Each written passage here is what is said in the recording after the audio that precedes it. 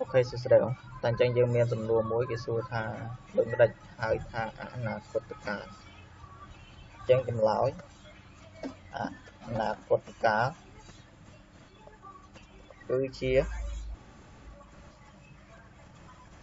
ពេលវេលា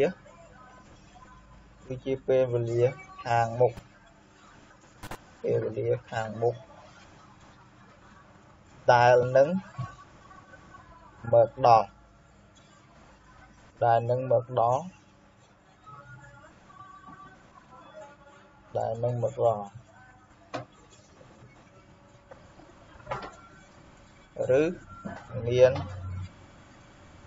សកម្មភាព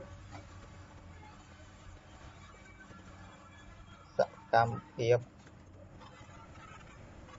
អ្វីមួយ អ្វីមួយកម្មភាពអ្វីមួយ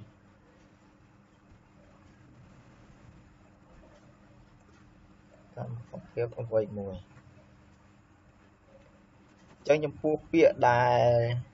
ប្រើសម្រាប់អនាគតកាលគឺមានដូចជា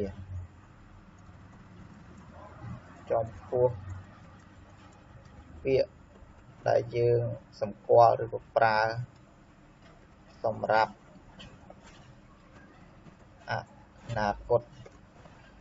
កាលមានដូចជាដូចជាមានដូចជាពាក្យអីគេទៅ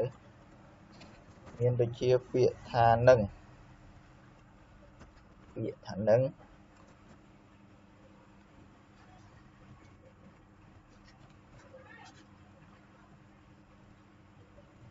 តាក់ទងកាលដូចជាពាក្យតាក់ទងថ្ងៃស្អែក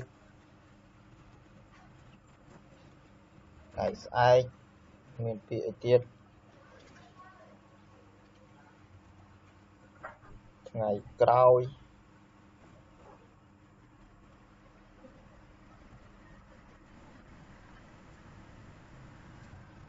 ថ្ងៃក្រោយថ្ងៃក្រោយ ឆ្នាំក្រោយមានពាក្យទៀត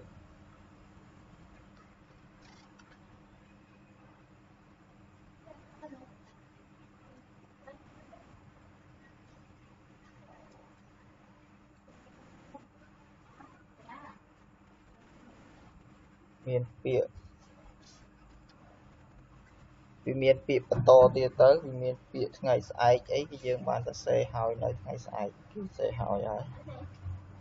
ឆ្នាំក្រោយកុំហើយដែរ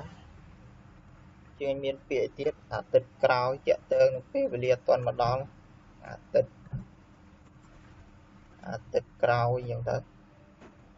អញ្ចឹងវានៅមានពាក្យច្រើនទៀតអញ្ចឹងយើងអាចស្រាវជ្រាវបន្ថែមមកដើម្បីឲ្យបានពាក្យឲ្យបានកាន់តែច្រើន ចឹងនេះបងឧទាហរណ៍មួយទៅគេថាខ្ញុំនឹងនឹងប្រឹងប្រែងរៀនសូត្រឲ្យបានពូកែ